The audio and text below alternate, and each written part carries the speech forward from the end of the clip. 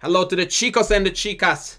Round two, game two from uh, the Chandra Invitational. And we have got Drag, uh, also known as, I forgot the players. Is that Dan? Who is Drag?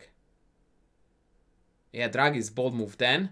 Uh, against no Dan is no don't sorry that's chess aesthetic against bold move Dan 2067 against 2061 neck and neck in the uh, rating department and it is going to be the weirdo opening with bishop g5 and I was already mentioning in the chat that the best way to treat this for black is the shocking f6 move uh, probably the only opening in the entire universe where on move 2, black's best move is to play f6. And the idea is quite cunning. After here, we go knight h6, and if white plays a lemon, then we go after them with knight f5, bishop g3, and pawn h5, and all of a sudden it turns out that there is no adequate way to meet the h4 uh, threat other than playing h3, allowing black to completely mess up the pawn structure and play for a win. Queen d6, e5, knight c6, dead, dead, dead. Kill, kill, kill. Instead, we played c5, which is fine, but what is about to come is the greatest sin against humankind. And I love to emphasize this because according to the engine, it is the best move. And I absolutely despise it. So we took on d4 here. And my question is why? Why would you take this? Please, I beg you to tell me. Especially knowing that after take on d4, we played knight f6. Which is always my mantra, by the way, that if we foolishly give up the center like this, trading this pawn for this, which is a crime against chess, and then you follow it up with whatever move, why don't you play whatever move without giving up the center. Why would you do that to yourself, young man? Why, oh why? Please, folks, this is literally chess uh, understanding center 101. And I do get, by the way, that the engine wants you to take it, but there is a tactical reason behind that. And that reason is, is that the engine wants to play queen b6, hitting both.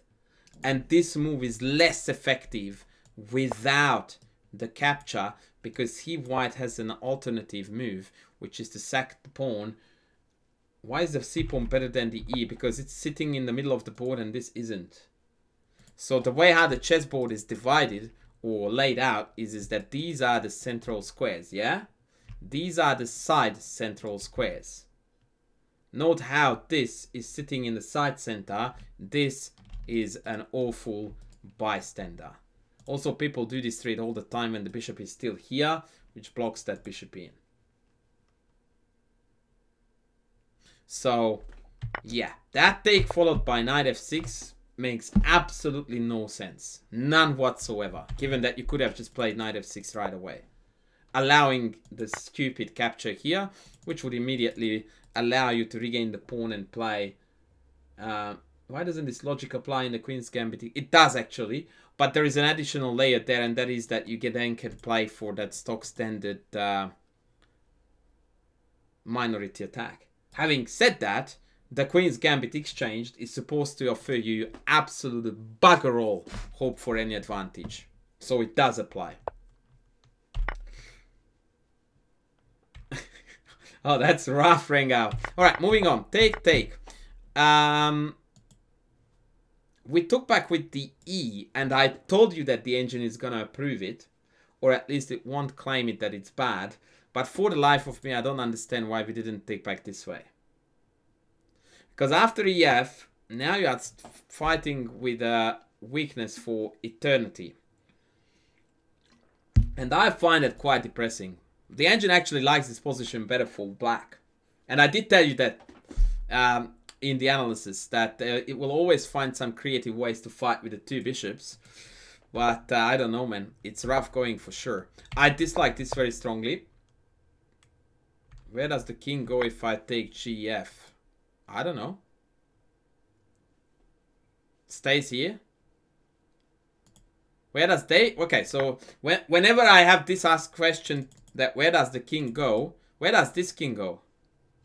You tell me that, I will tell you where mine goes. Because if you tell me you're a castle here, I will tell you that I'm going to attack your king, and likely I will go this way. If you tell me that you're castling here, I'm telling you I'm going to attack your king here, and mine will likely go here. So when you are asking yourself, oh, I don't know where my king is gonna go, I will go like, okay, where is their king is gonna go? Because if you have a clear answer to their king, and we still don't know ours, I will go like, fair enough. The engine slightly prefers EF. Very marginally, but I don't know if I go in further depth, um, what would happen. But the difference is like 0.1.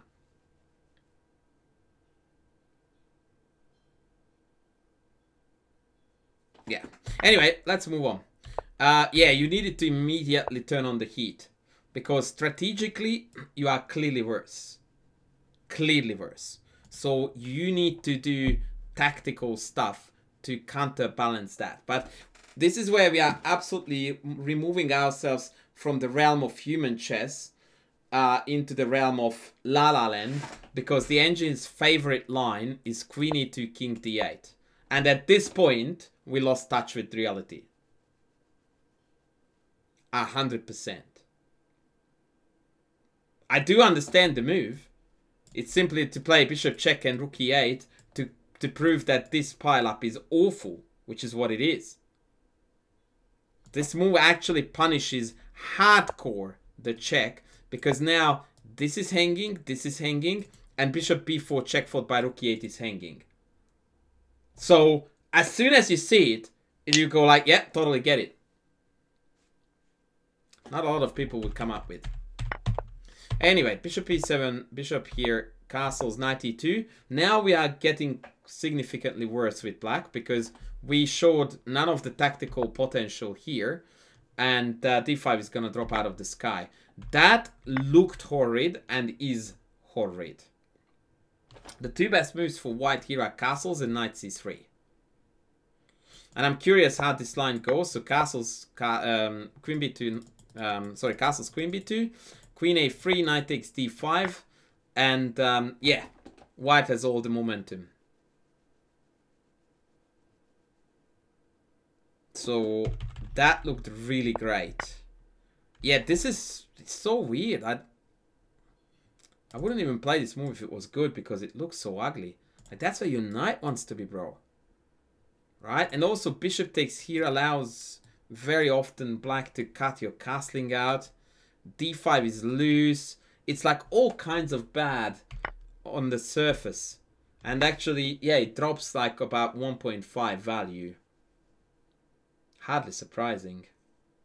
It's just an ugly move that looks really, really ugly. That was a Hans Niemanism. And funnily enough, it's ugly. So yeah, it's, it was really unpleasant to, to see this move being played when white has, yeah, knight c3 and then castle and then take this. All right, let's go back.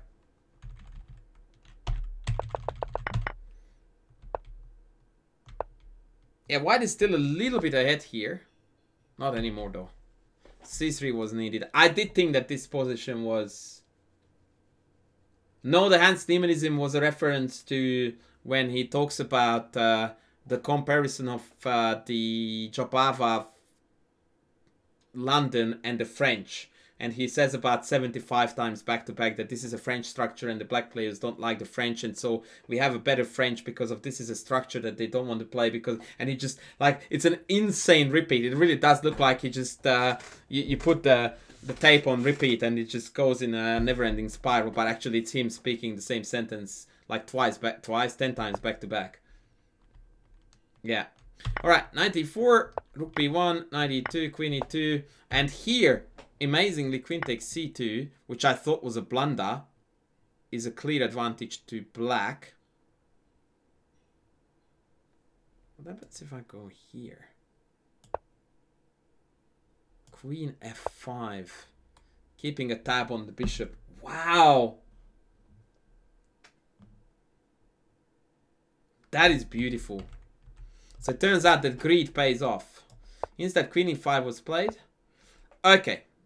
So um, the first thing that I didn't quite understand here from White's perspective was that why didn't we enter this endgame? And I thought that rook b8 was better for black. And I did say during the analysis. But I didn't see bishop d5. And this seems quite sufficient to hold actually. So that was a potential idea there. Queen f3, I suppose, had the attraction of, excuse me, keeping the queens on the board. So we will roll with that. Bishop g4. Uh, that was a pawn sack that we should have, could have considered accepting.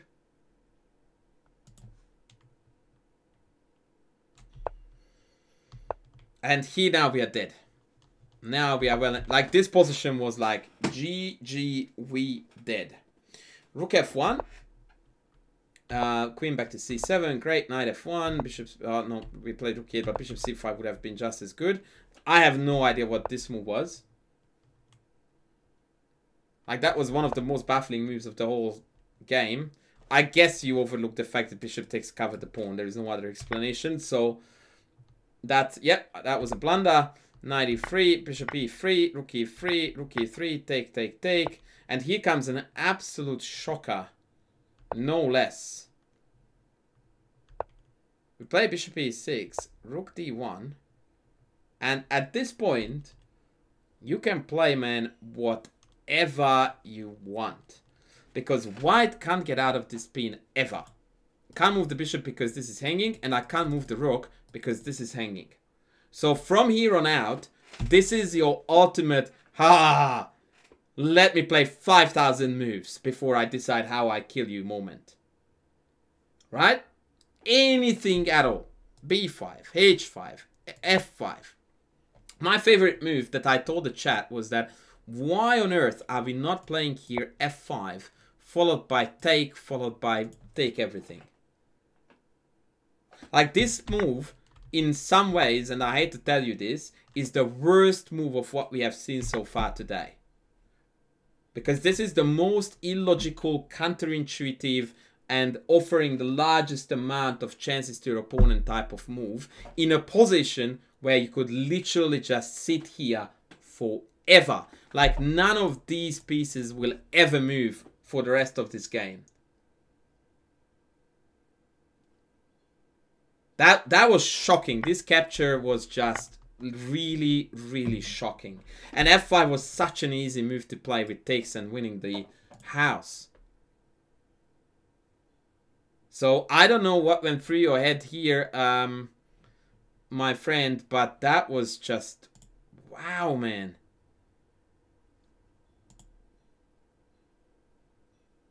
Yeah. Like, uh, that's a very good analogy. This guy is drowning and you just threw a rope for them.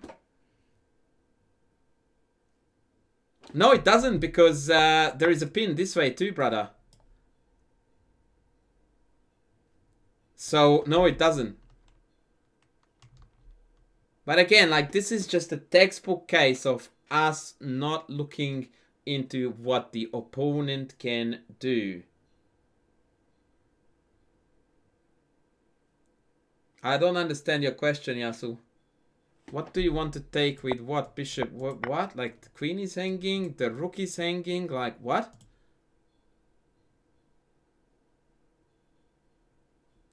Yeah, this this was absolutely shocking. Uh, but let's move on. So we played queen e7, king e7, uh, king f2, sorry. And now all you need to do is move this rook wherever, and we are winning. And that was the second worst move of the day because that was virtually the only way to give a chance for white to stay alive.